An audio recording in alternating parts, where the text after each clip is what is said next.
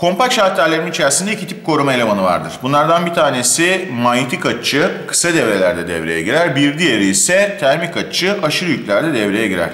Peki kısa devre noktası nedir? Kısa devre noktası eğer kompakt şalterinizde manyetik ayar yapılabiliyorsa o ayarladığınız akım değerinden sonra eğer yok sabitse 6, 8, 10 misli gibi amma akımın akım değerlerinden sonrayı kısa devre olarak kabul eder ve manyetik açı devreye girer.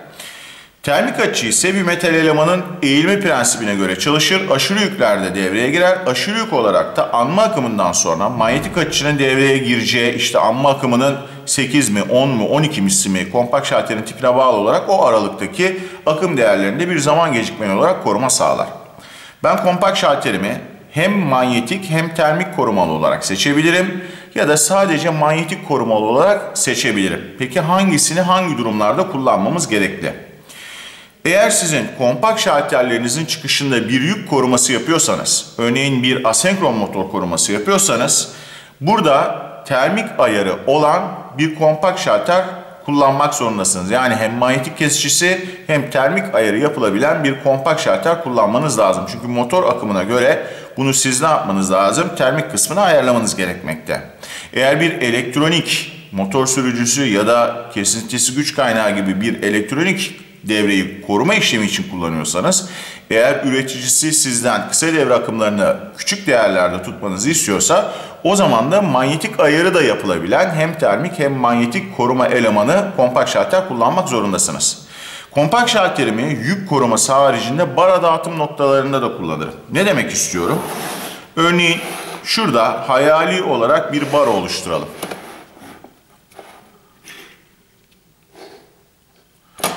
Benim bara girişimde burada bir tane kompakt şalterim var. Barayı besliyor ve bu baradan da yükler kendi koruma elemanlarıyla devreye giriyor. Şimdi burada barayı besleyen kompakt şalterim. Buradaki burada termik manyetik koruma var ama bunu örnek olarak sadece manyetik koruma olarak düşünelim. Yoksa bu termik manyetik koruması içerisinde bir kompakt şalter ama sadece manyetik koruması olan bir kompakt şalter olarak düşünelim. Buradaki kompakt şalterim 160 amperlik. Aşağıda buna en yakın olan kompakt şalterim ise 63 amperlik. Şimdi buradaki kompakt şalterim aşırılık olarak hangi akım değerlerini kabul eder?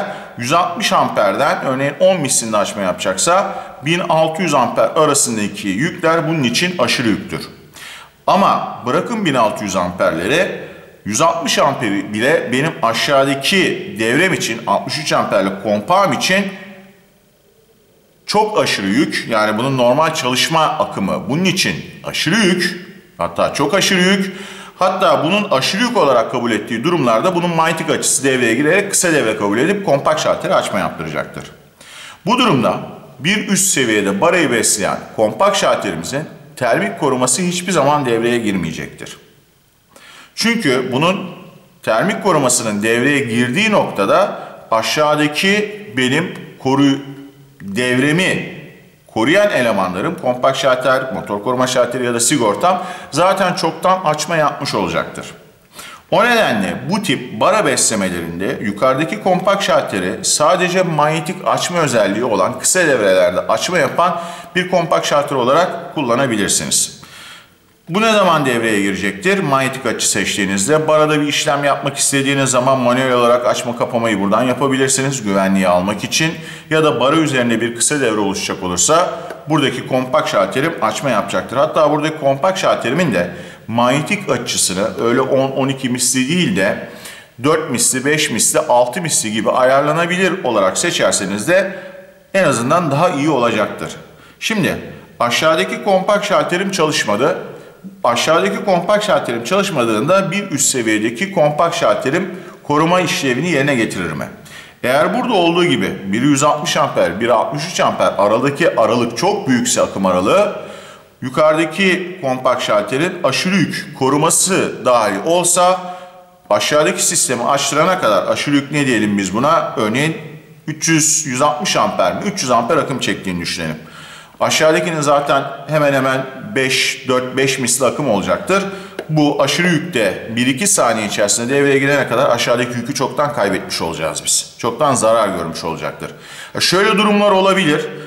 Buradaki kompakt şalterim 160 amperdir. Bunun bir altındaki kompakt şalterim 120 amperdir. Akım değerleri birbirlerine yakındır.